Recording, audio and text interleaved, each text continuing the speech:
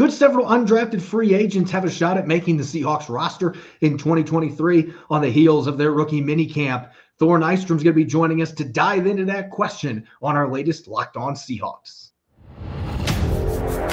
You are Locked On Seahawks, your daily Seattle Seahawks podcast, part of the Locked On Podcast Network. Your team every day.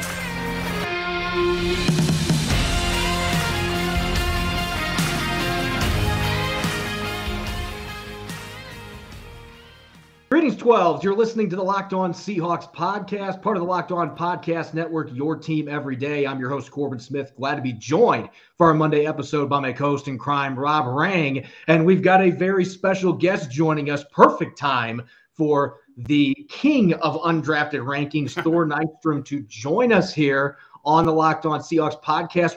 Thor, we're just coming out of rookie mini camp. We got to watch the 3,000 undrafted players the Seahawks had on the field this weekend. It just felt bigger than usual because they had a small roster going into the draft, only 52 guys on their roster. They signed 25 undrafted free agents, and you do rankings every single year. You call it the dessert draft. Based on your ranking, the Seahawks, they were eating up on the cookies, the ice cream, and the pies. How do you put those rankings together? And what did you see John Schneider do that earned that number one ranking?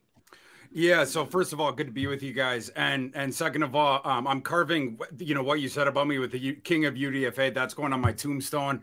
Um, as as far as the the ideology with it, like I get way too into it, as you guys can probably imagine. Basically, I use a modified trade chart. You know, one of them, and I I triple size it, so it goes from you know 259 to around 750. I think I, I end up ranking out a little over 800 guys. I put on my top 500 board, but like, you know, I go a little bit deeper than that in the position rankings, whatever. And then I assign, you know, the players' values because of that.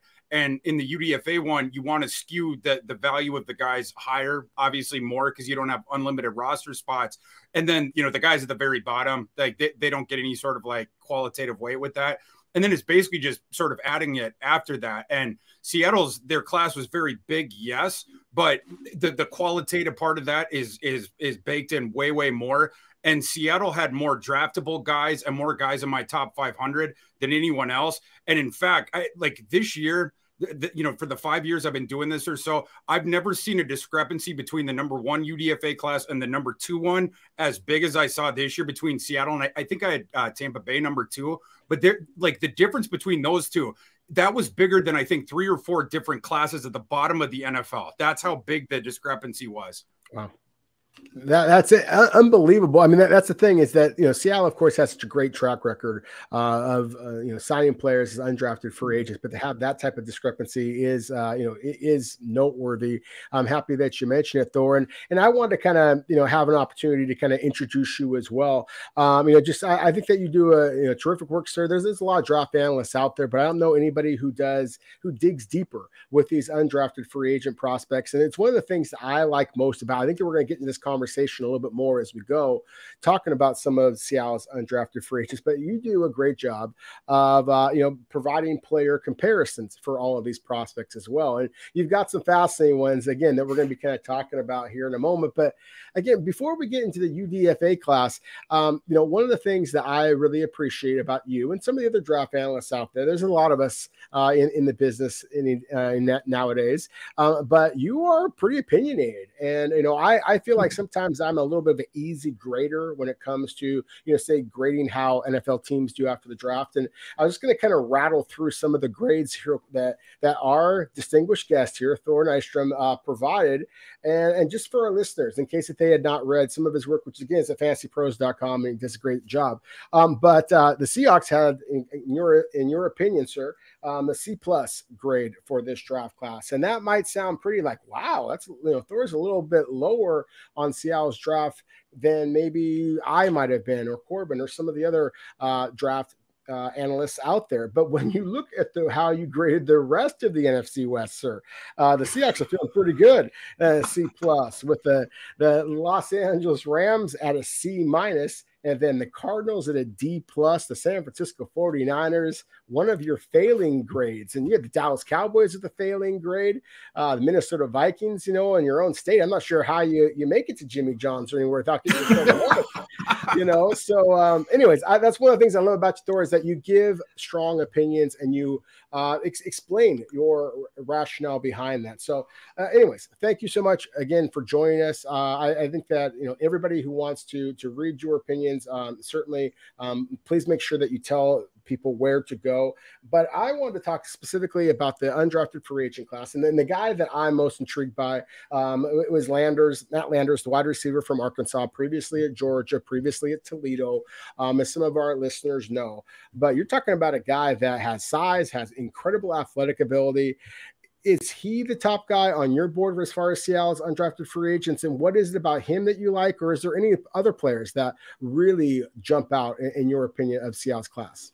First of all, thank you for the kind words coming from you. That that means a ton to me. And as far as Landers goes, yes, to your question about if he was the highest and significantly so, I, I had him 179th on my board.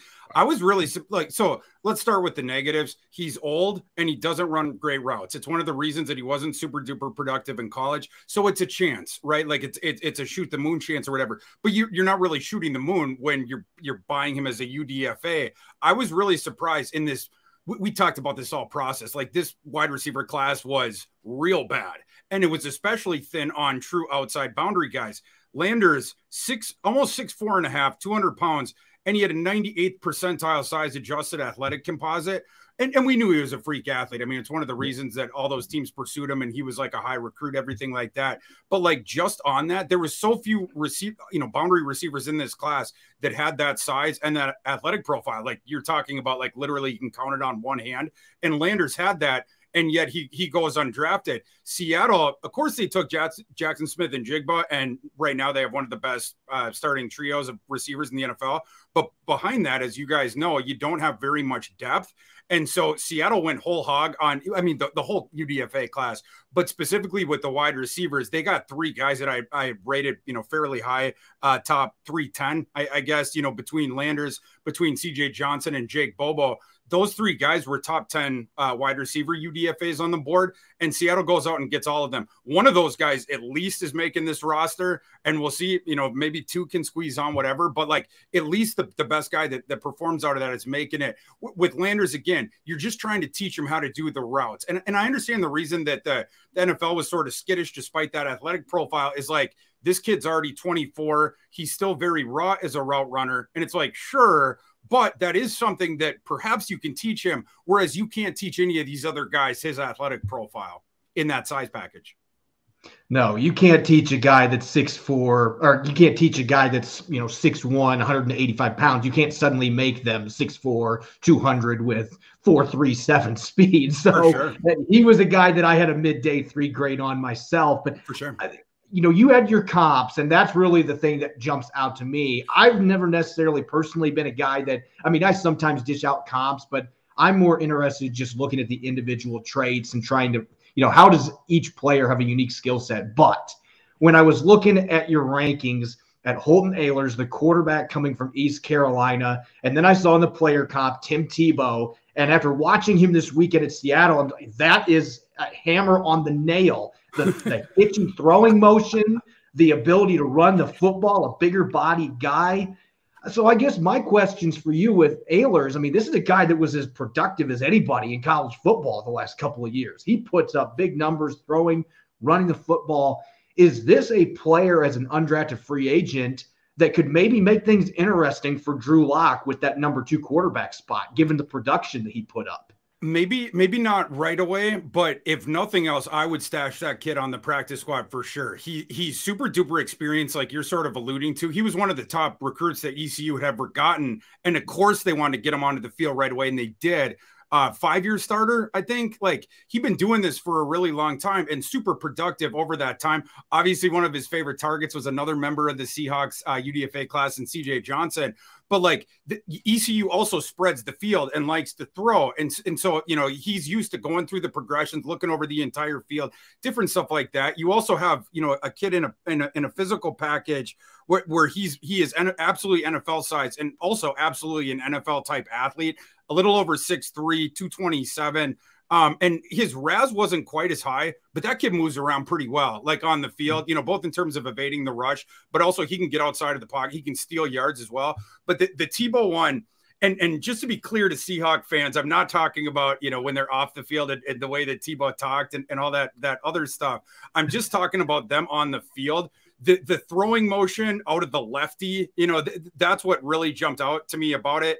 And and the thing that that Ahlers act or lacks, it's the same thing that that Tebow did. Well, maybe a couple things, but the arm strength in particular. Um, some of those balls sort of flutter out and stuff like that, but he's accurate, short and intermediate. Um, and again, he knows what he's doing. He plays within the concept of the offense, shuttles it off to the correct receiver. The defense doesn't have to worry about him with the deep stuff, but he's an efficient quarterback who, again, can steal yards as well, knows what he's doing. I would absolutely try to keep him on the practice squad year one and try and see. I mean, the, the, Broncos and McDaniels, they weren't able to do this with Tim Tebow, but try to see if we can improve those mechanics any. Maybe you unlock some more arm strength because he's got that sort of windmilly, you know, awkward kind of motion. If you can fix that, a lot of other things are already in play with that kid. Where if, if you can unlock that, maybe you, you have something in a guy that can hang on the active for several years.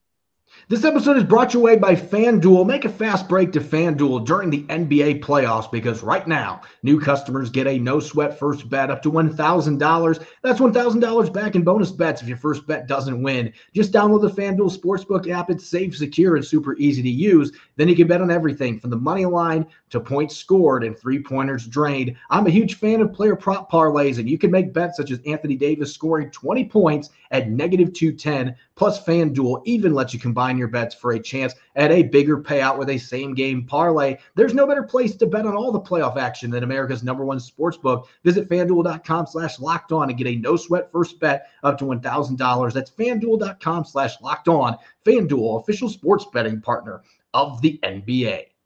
Yeah, I think that's an excellent point. Um, you know, in, in, the Tebow comparison, I mean, I, I just think that it's, um, you know, it, it, makes an awful lot of sense. Again, as you mentioned, Thor with the left hand and, and, the fact that he does kind of have like a little bit of a hitch in, in, his kind of delivery, and the ball doesn't just explode out of his hand. And mm-hmm. that was one of the things that you know, kind of Corbin and I were, were talking about as we were watching him in person. Now, you know, is he the Heisman Trophy winner on all those commercials? I mean, I say nay. You know, I mean, it, it's, uh, you know, it's uh, obviously there there is. Um, you know, very different in terms of personality in that way. But I still was impressed by the leadership skills that he demonstrated. You mentioned the fact, you know, four or five year starter. I mean, he it didn't look too big for him. Whereas some of the other prospects on, on that field, you could just kind of see them looking across Lake Washington, looking around, you know, at the VMAC and the different jerseys that are, you know, up or the names up on the on the on the walls and things like that. That it, it was a pretty big moment for them quarterback position, you don't want to have a guy like that. You want to have somebody who is a little bit more grounded. And so I was impressed uh, by Ahlers in that regard. So, um, real quick, I, I, wanted to kind of shift gears here for a second. Rather than some of the players you talked about with the RAS scores and things like that, two guys that I was really intrigued by that didn't have RAS scores because they were both coming off of injuries. And I don't know what all you know about these two players, Thor, because again, they don't have the the you know the comparable numbers that we have to some of these other players. But um, the the Florida State defensive tackle Robert Cooper is one of the nose guard candidates that I'm intrigued by, um, and and then the other one being the North Dakota State tight end, actually Noah Gindorf. Um, did you have any thoughts on, on those two players in particular? I do. Uh, Gindorf actually grew up 30 minutes from me. I'm from Brainerd, Minnesota. He's from Crosby, and his dad, I believe, is still the high school coach there. So I, I seen that kid going back a while. Let's start. let's start with Cooper though. Cooper's a weird player, right? Where he is sawed off and super muscled up, but like he he's below your threshold for size. And and I I don't know what athlete he would have been like if he had tested because the well the pass rushing repertoire is what he needs to improve on. It, it's sure. totally one note. and I don't know if he has the athletic profile to sort of overcome the the the size limitations with regards to that.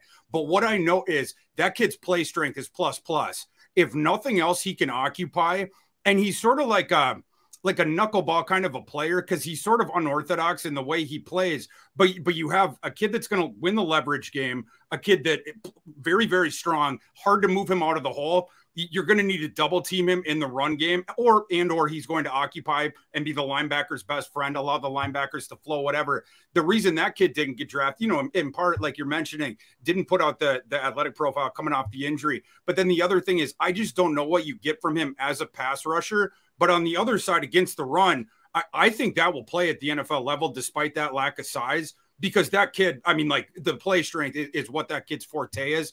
So like they'll just have to work on and see what you can get in the pass rush and then decide if the juice is worth the squeeze to give him a roster spot. Certainly, I think he would be worth a practice squad spot. If if not, as far as Gindorf goes, I was kind of surprised that Gindorf didn't get drafted. Like, you know, he he had a solid career and in you know this tight end class, you had sort of you know there was only the one taken in in round one. You had sort of that bonanza in round two, but then it, it sort of went dormant for a little bit. Get, you know, a lot of these kids that we saw drafted, it was like you know the big slot kid, or maybe a kid that that um, profiles better as like an H back, whatever. Gindorf's a true inline guy like yeah. absolutely you know both in terms of the frame but also the game like yeah eh, how many how many inline guys in this class had that size and are as good at blocking as that kid if if you play inline at NDSU, you ain't getting on the field and it, unless you block your butt off. And that kid most certainly does. The, the limitation that he's facing right now, and, and presumably the reason that he wasn't drafted is very raw as a receiver. But th- they can get him in the building. And there's one specific thing you work on that kid with from the jump it's running the routes. What I know he can do, he knows how to use that enormous body when the ball's coming. He'll pin you to his back. Uh, you know, has a basketball background as well, box you out, and he's very good in those contested situations. Sort of think like a, a poor man's Michael Mayer in terms of that. He ain't beating you down the seam or anything like that, and he's not creating a ton of separation. But once that ball's on the way, he can pin that the defender to his back, and even if he's hanging on his back, he he come down with it. He, has got good hands. You just have to teach him more of the routes because he's not going to create any separation right now in the NFL. Let's talk about who is, in my opinion, the most fascinating undrafted player on Seattle's free agent list. And some of our listeners are going to be like, oh no, here we go again. But Jonah Tavai, you look you look at the measurements in terms of arm length and athleticism 29 inch arms. That doesn't look like an NFL defensive tackle. He's 5'10 if you've got a couple bricks underneath his cleats. He's got a 5.06 40 time. None of that screams NFL player. And yet, I told Rob this, and I'll say it again. I had to double check my phone the other day, taking video of him doing pass rushing drills because I thought my phone was on one and a half speed with how fast his hands were moving. I've never seen a guy, and I've been covering the NFL now for almost 10 years. I have never seen a guy that has hands that quick. And being short and stocky, it seems to me like that would be beneficial to him, at least as a situational nose tackle. That's what it looks like they're going to be trying him out as. But you had Mike Daniels as your comp on your ranking, and I immediately got super excited because I think Mike Daniels was one of the best players that never got attention on those really good Packers teams. If Seattle could get anything close to that out of Jonah Tavai, another short, stocky guy that's got some pass rushing ability, really productive, uh, it feels like this could be a guy that we're talking about in a few years with this team.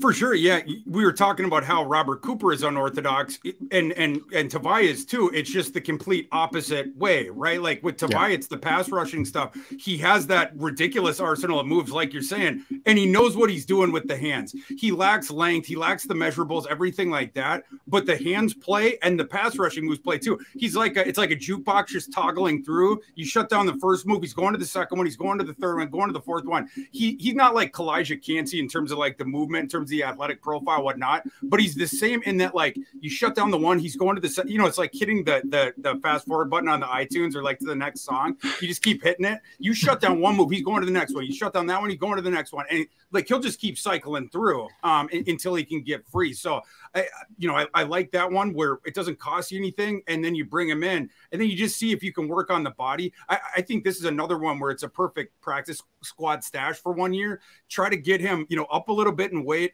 Try, try to improve the run defense a little bit. See see if he can anchor it all as far as that stuff goes. But the hands and the pass rushing moves speak for themselves. So does the production.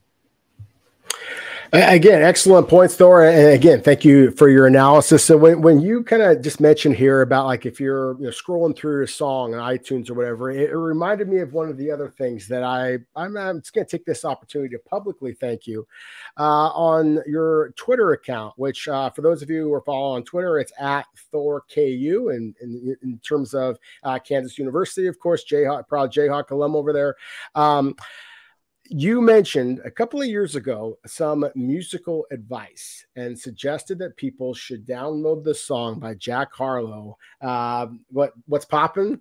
And oh, yeah. I had never heard the song until that. And so because Thor Nystrom told me and told the rest of social media that this song slapped is the word that you use, I uh, I played it and I'll be damned if that song didn't just slap. And I absolutely loved it. I've downloaded several Jack Harlow songs again. Uh, you know, to your credit. So again, uh, very multi-talented Mr. Nystrom over here. Uh, I'm going to switch back over to football for just a moment, real quick though. Um, and as far as Seattle's actual drafted prospects, um, as I mentioned before, you gave Seattle a C plus. So my last question for you here, sir, is like, what did you like? What did you not like about Seattle's actual draft class?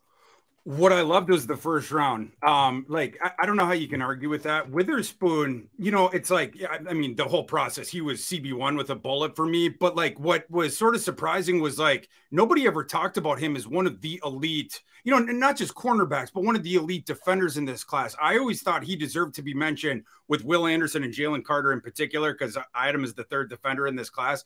And he absolutely, in my opinion, deserved to be spoken about like those two guys, just in terms of the on field utility. He's one of my favorite cornerbacks to come out since I've been doing this, you know, five or six years, been ranking out the guys.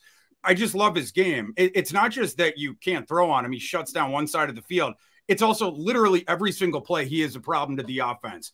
You try to run to that kid's side, good luck. You're not blocking him, you're not keeping him out of the backfield, and he's coming. He's the Terminator. But like, even if you like, you can you can barely complete passes on him. Like in, in college, you know, the last I think it was last ten games. Because actually, it was it was funny. The second game, he actually struggled last year just a little bit. I, he gave up around 100 yards. So when you think about the context of, you know, I, I know that Seattle fans know how few yards he gave up last year basically half of them came in one game. In the second game, the last 10 games of Devon Witherspoon's college career is some of the most dominant tape you will ever see. And, and teams just were like, well, we just ain't throwing at him anymore. We're not going to do that because we're not going to give him a shot to flip the field, especially when we probably have a lower shot at completing the pass. So, so I love that. Jackson Smith-Njigba, what what a stroke of luck there. Uh, I mean, like there were teams where I didn't think Jackson Smith-Njigba was a great fit for you mentioned I'm coming to you guys from Minnesota. Minnesota needed a number two receiver, but they've gone to 12 personnel because they signed Josh Oliver. Obviously, last year they traded for TJ Hockenson. So their rece- the, the second receiver that they were going to draft, he had to play on the outside. Uh, the Chargers, another team we knew was, was going to draft a wide receiver. They already had Keenan Allen in the slot, so they needed a true sort of boundary guy. Seattle was the one that was picking that needed that slot. And and when is the last time we've seen a slot come out? A prospect that was as good of a slot prospect as Jackson Smith-Njigba was we know he's going to dominate at that because the same thing that we've seen at Ohio State, where you have the two uh, stud boundary guys who are going to create the space for him in the intermediate area. Nobody's covering Jackson Smith-Njigba one on one in the intermediate area.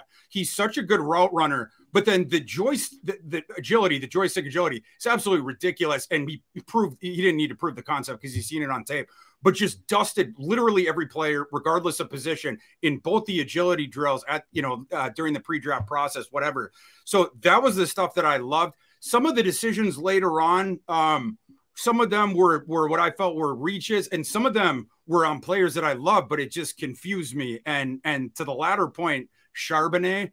I'm really curious to see what goes on there. I love Zach Charbonnet. In fact, I loved him so much. I actually ranked him ahead of Jahmyr Gibbs. Zach Charbonnet was my RB2. I, I love Zach Charbonnet's game.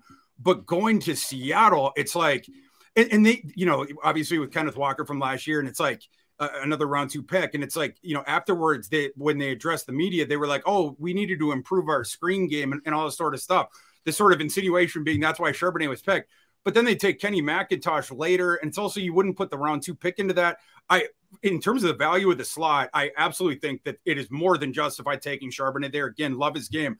but I'm really curious to see how they use those two guys together. That was just one confusing one for me. And then later on, I, I didn't think they, they Seattle did as good a work, you know, a little bit nitpicky for sure. But to your point about the way that I grade, I grade, I, you know, the way that I do it, it's on a straight curve. So I have a couple A pluses every year. I have a couple Fs, and basically every other grade is evenly distributed throughout. So even though for some other graders, C plus might be the worst grade they would give out. So some people might be like, "Oh, you hate Seattle's draft, whatever." For me, it's it's actually literally above average. You know, like you know, if, if you looked at it one through thirty-two, probably be like the number thirteen, number fourteen class in the NFL. So I actually like Seattle's class. It just doesn't look like that, you know, because I, I do the you know the the uh, curve grading. Yeah, Rob and I both have teaching backgrounds. Rob is still teaching. I did for seven years. So you're just deploying the bell curve, good sir. That's and right. That's right. People just got to pay attention to that. But C plus on a bell curve is pretty solid grade. We really appreciate you coming on and joining the show, Thor. It has been a blast. Before we let you go, though, I want to go back to the UDFAs one more time. Obviously, with 25 players signed in undrafted free agency, we weren't going to have time to talk about every single one of those guys but who would be one name on that undrafted free agent list that nobody is talking about that you think has a chance to make the Seahawks 53 man roster? Well, I, am sure you know if Seattle's anything like Minnesota. Y'all are like talking about every one of the guys. So like, I I I can't make a supposition as, as to who you know Seattle's not talking about. But as far as a couple guys that we didn't, probably the number one guy would be Griffin Hebert. I like that kid's game, and it's not like I, so. I run this 50 team college fantasy football league during the fall where there's no duplicate players. We use all 131 teams, whatever. Griffin Hebert was a guy that last fall I was I was I was winning games with because he had tight end eligibility, but was still being used as the wide receiver in the offense essentially that he used to be. Just last year, he was like the big slot guy. He's gain weight, gain weight, gain weight, but he's still a really really good athlete. And and I like this this sort of shot on his development here where you have a kid six one, he's up to about 240. Again, he has those wide receiver skills. You've also seen him uh, working out of the slot and winning out of the slot last year before he suffered the injury. And I like the idea of trying to bring him in and see if you can get turn him into a sort of H back. He's never going to be a true inline t- or an inline tight end, period, because he's only 6'1, 240 right now.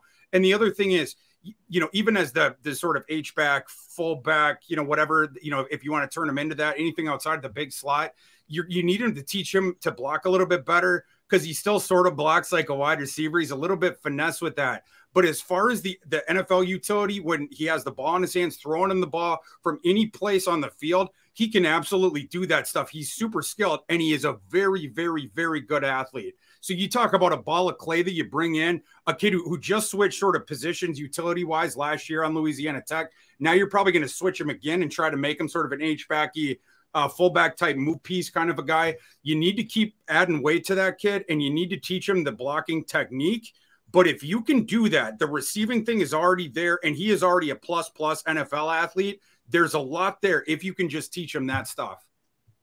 Yeah, he's a player that was on my short list just because I'm a fullback traditionalist, and I was like, hey, they might have somebody that maybe can play a Kyle Juszczyk type type yes. role with some development there. But again, Thor, we greatly appreciate having you on the show. Can you let our listeners know where they can see your work, including that awesome undrafted rankings piece? Appreciate you, boys. Yeah, um, all the NFL draft works up on Fantasy Pros, and you can find me on Twitter at ThorKU. Special thanks again to Thor Nystrom, the guru of undrafted rankings and the king, whatever you want to call him. It's all going to be on his gravestone after this show. So we appreciate you taking the time to join us, man. And we'll see which one of these undrafted players ultimately ends up making Seattle's roster. Appreciate you, boys. Thanks again, Thor. When we return here on our Monday edition of Locked On Seahawks, Rob Rang and I are going to be taking some closing remarks here after Seahawks rookie minicamp. What were some impressions coming out of Saturday's practice, primarily from the 10 player draft class. We're going to be getting those here in a moment here on the Locked On Seahawks.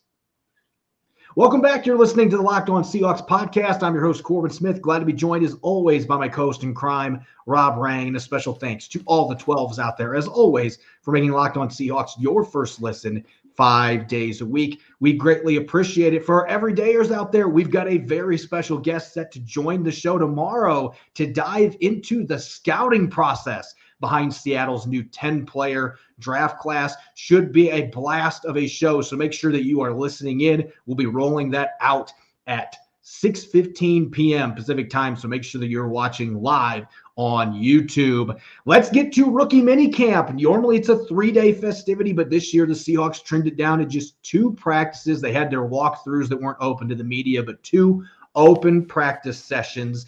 And Rob, everybody was wanting to see Devon Witherspoon and Jackson Smith-Njigba. We didn't get to see much from them in either one of the two days, but that doesn't mean that draft picks were not making positive impressions, especially the day three guys. Yeah, absolutely. I think the day three guys is where you got to start the conversation off. And, um, you know, as you said, uh, everybody's going to focus in on the top two picks because, of course, we're expecting them to come in and hit the ground running, perhaps be starters right out of the box. But I think that when you start talking about some of those day three players, like uh, Olu Oluwatimi, for example, I think that he could wind up being a starter as well. And so I spent a fair amount of time during my day uh, out there at the, at the VMAC watching the interior of the offensive line. I want to see the way that Oluwatimi played. I wanted to see how the way that Anthony Bradford played. They're, they're very different players, actually. Bradford with his size and power and the way he just absolutely just dominated in the blocking sled, and, and just the, you could just see the explosiveness in his game. With Oluwatimi, one of the things that I was most impressed by is just just his just his bulk um, just the way that he's built, kind of low to the ground. Um, but at the same time, with the way that he was kind of moving people around and, and calling out the plays, um, you know, just that to me just kind of speaks to his football intelligence. Um, he's one of those kind of guys that, uh, you know, speak softly, carry a big stick kind of a thing. He just kind of, we mentioned this in the last uh, last little segment there with the East Carolina quarterback Holton Ahlers when we were talking with Thor Nystrom about some of the undrafted free agents. And some guys just kind of carry themselves like pros. You just see their experience. Again, Oluwatimi's experience as a starter, I thought really lended itself well to create a positive first impression um, for the Seahawks.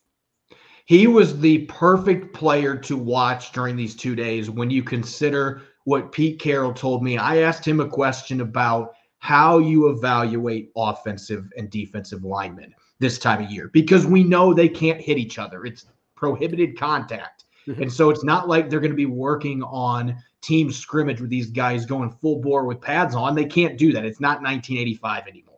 And so trying to evaluate these players can be really tricky. And at the same time, Carroll immediately was like, hey, that's the first group I'm watching. We open rookie mini camp because he wants to look at the footwork, how comfortable they are with the schemes, line calls, how quickly are they picking up the playbook. And he raved about Oluwatimi. And you would expect that from a guy with over 3,500 college snaps under his belt at center. But just being over there watching the way that he worked in the sled, he doesn't have the power that Anthony Bradford does, but the hand placement is on point. His footwork when they were doing – some drills on zone and, and man gap uh, schemes. His footwork was impeccable throughout those drills. And so you can see the experience, you can see the savvy. And this is the other thing that jumped out to me when we were watching a few of their team related drills. Rookie minicamp, he hasn't played with any of these other guys on the offensive line. And most of them are, quite frankly, not going to be in the Seahawks uniform again after Saturday. A lot of those guys were tryout players. And he's still up there calling out defensive fronts, where the linebackers are at, making all the line calls from play one and making it look like he's played with these guys all of his life. And you just don't see that very often from centers coming into the league, even if they're first round picks, to come right in and have that kind of command. He developed that leadership at Michigan. So he was the player that I was most impressed by. I, I also, you know, there's some bias here.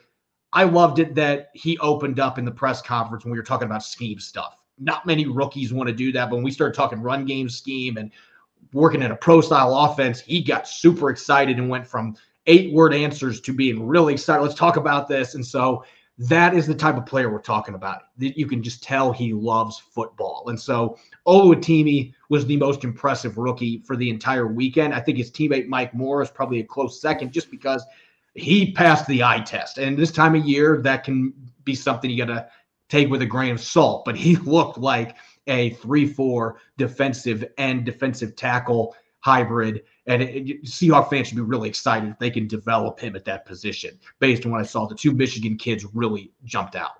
Yeah, exactly. I mean, as you say with Morris, I mean, he just looks the part. I mean, he's six, seven, 300 pounds. He's got these big, long arms, these big, broad shoulders. I mean, you know, he is a V shaped, cut up kind of a, of a guy as you said, looks like that kind of classic three-four defensive end. Um, you know, and, and so because of that, I, I, really think that he's intriguing. But I'm actually kind of going to go with a couple of the other defensive linemen. Cam Young, um, the the nose tackle, at least drafted to be such, and then Derick Hall, the edge rusher.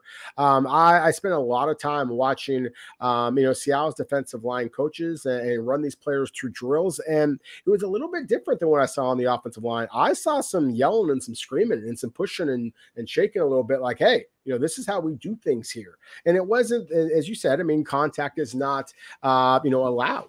Um, but still, there was some real coaching going on there, and this is why we use our hands this way, and this is how we, you know, we do it first this way. And so there's some real teaching going on, and so I, I was uh, really interested um, to hear Damien Lewis, one of Seattle's defensive line coaches, as well as defensive coordinator Clint Hurtt, watch Pete Carroll kind of come down there and really pay a great deal of attention to specifically Cam Young as well as Derick Hall, and was just really intrigued by what both of them offered and, and showed. Uh, Cam Young with just his size, his power. I mean, just the easy, explosive power that I kind of mentioned before with Bradford, and then with Hall. I mean, just his um, his burst up field, and then talk about a guy who was just built like a brick house. I mean, he looks the part uh, of what you're looking for. So to me, those are guys that I was really excited about. I'll say quickly, uh, just because I'm I don't want to steal your thunder, but I know you're going to talk about running backs at some point.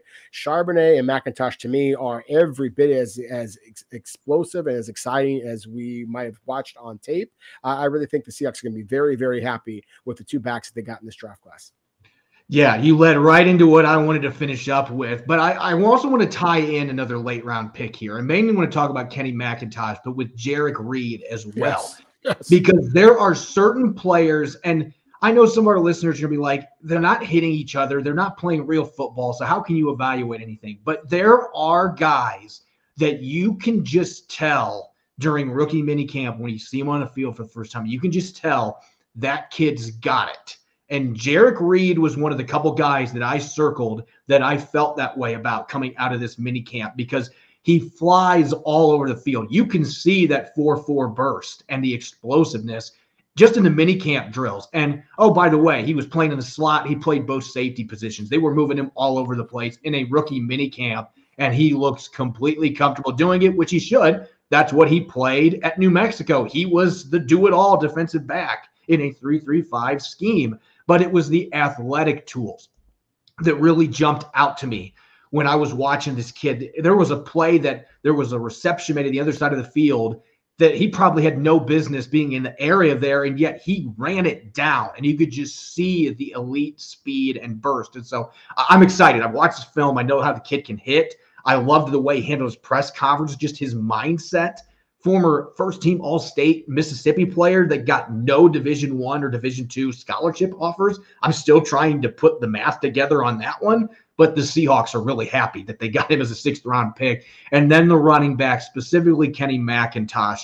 I've talked time and time again about the soft hands that he has. Charbonnet made a couple really nice catches this weekend as well but there were a couple bad throws by the tryout quarterbacks that were on the field, guys that probably aren't going to be in a uniform again in the NFL, unfortunately. They were throwing the ball down at Kenny McIntosh's shoe tops, and he was plucking it like it was super easy catches. He was playing on basic on Madden. The guy was just reaching down, plucking, and there's a reason he finished second in the country for running backs and receiving yards and has such phenomenal hands. You can see it play out.